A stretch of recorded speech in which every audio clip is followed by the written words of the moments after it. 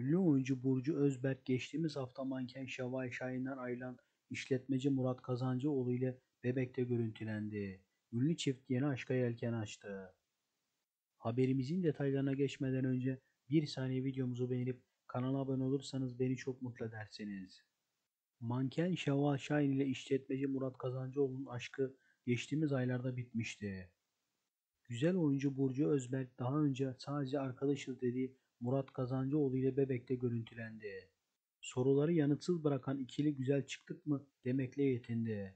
İkilinin yeni bir aşka yelken açtığı iddia edildi. Şimdilik videomuzun burada sonuna geldik.